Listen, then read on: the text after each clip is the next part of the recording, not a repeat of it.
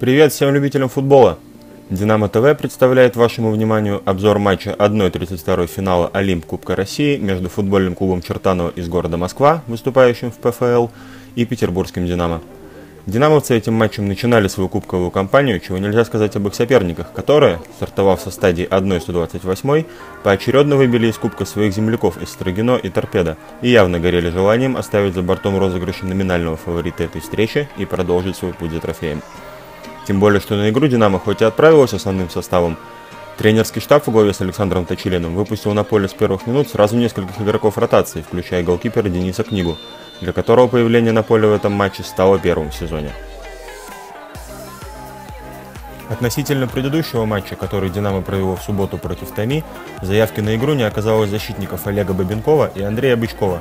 Таким образом, линию обороны составили Алексей Житников, Игорь Юрганов, Артем Пасько и Михаил Коваленко – в середине поля также не обошлось без изменений. В отсутствие капитана команды Евгения Писягова с капитанской повязкой на поле вышел Максим Рогов, а компанию средней линии ему составили Михаил Козлов, Валерий Сарамутин и Александр Каратаев. Впереди, в свою очередь, действовали Максим Барсов и Андрей Батютин. В дебюте встречи первый острый момент возник у ворот «Динамо», когда уже на третьей минуте Юрий Горшков со штрафного пробил в считанных сантиметрах от штанги. Сразу после этого над стадионом в первый раз начался сильнейший ливень под которым хозяева создали свой, пожалуй, самый опасный момент в первом тайме и едва не преуспели. Но Зиньковский, убежав с левого фланга на рандеву с книгой, покатил мяч мимо дальнего угла. Следом Чертанова создал еще один полумомент, но прострел все того же Зиньковского с левого края уверенно прервал голкипер. У «Динамо» же игра в атаке откровенно не ладилась. Единственный более-менее острый момент возник у ворот хозяев после углового, но защитники москвичей, хоть и не с первой попытки, но все же смогли отвести угрозу от своих ворот и выбить мяч. Чертанова на это огрызнулась еще одной быстрой атакой, в которой удалось заработать штрафной. Но с ударом Зиньковского, который был, пожалуй, самым активным в составе Чертанова в первые 45 минут, Денис Книга уверенно справился, отбив мяч в сторону. Стоило только дождю поутихнуть, как реакция гостей не заставила себя долго ждать. Снова угловой, снова подача в район 11-метровой отметки, но на этот раз Артем Пасько, оторвавшись от опеки защитника, оказался выше всех чужой штрафной площади кивком головы отправил мяч прямиком в дальний угол ворот Ломаева, открыв счет матча. 1-0 и отметим, что этот гол стал для Артема первым в составе «Динамо», с чем мы его и поздравляем.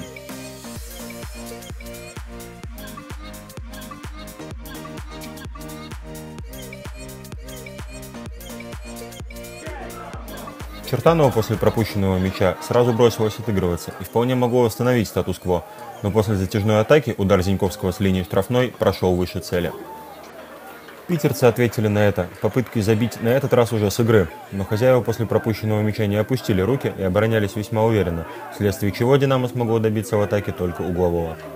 Впрочем, расстраиваться долго не пришлось.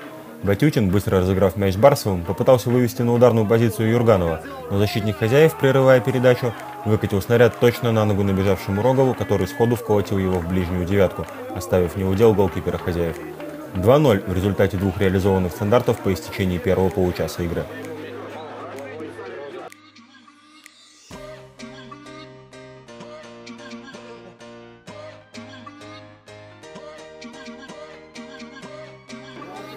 Почти сразу Максим Барсов мог довести счет до крупного, но в последний момент защитник хозяев Солдатенков заблокировал его удар с линии вратарской и мяч ушел на очередной угловой, который, в отличие от своих предшественников, успехом не увенчался.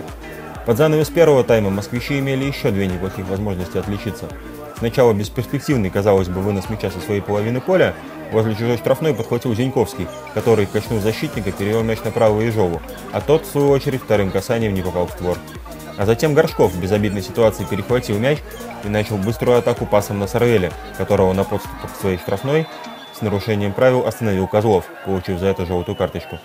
Тем не менее, Горшков пробил основательно выше перекладины и вскоре раздался свисток. Дмитрий Стрельцов отправил команду отдыхать при счете 2-0 в пользу «Динамо».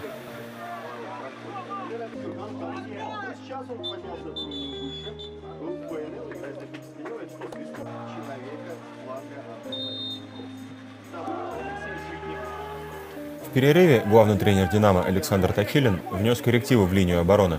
Михаил Коваленко, игравший на левом краю, отправился отдыхать.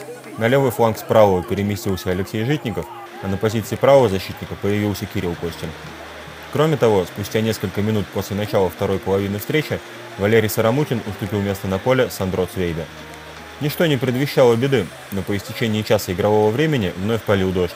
Причем полил так, что дренажная система сдалась практически без боя, и поле постепенно превращалось в самое настоящее искусственное болото, сводя на нет все попытки хозяев контролировать мяч внизу и играть в комбинационный футбол через короткий пас. Тем не менее, в середине второго тайма сначала Барсов подкараулил ошибку защитника москвичей, выведя Батютина один на один с голкипером, который в блестящем стиле выручил хозяев. А в одной из ответных атак уже футболисты Чертанова здорово разобрались в ситуации, избежав офсайдной ловушки, и уже Сорвели выскакивал на рандеву с книгой, который сыграл выше всяких похвал и, несмотря на ливень, умудрился оставить ворота сухими. Моменты у ворот обеих команд порой возникали буквально из ничего. Несколько раз лишь чудом мяч не попадал в сетку. В частности, Максим Барсов, прокинув мяч мимо Ломаева, бил по пустым воротам, казалось, уже наверняка. Но защитник хозяев пришел на помощь своему голкиперу и вынес мяч с самой ленточки. На 70-й минуте главный арбитр встречи Дмитрий Стрельцов все-таки остановил матч. Проведя короткое совещание со своими помощниками, делегатом встречи, а также тренерами команд, игру, тем не менее, было решено продолжить, несмотря на неутихающий ливень, и пауза продлилась всего каких-то пару минут. К моменту возобновления игры Точилин произвел еще одну замену. Вместо Андрея Батютина на поле появился Андрей Почепов, а следом за ним в игру вошел лучший бомбардир команды в этом сезоне Артем Кулишев, заменивший Александра Каратаева.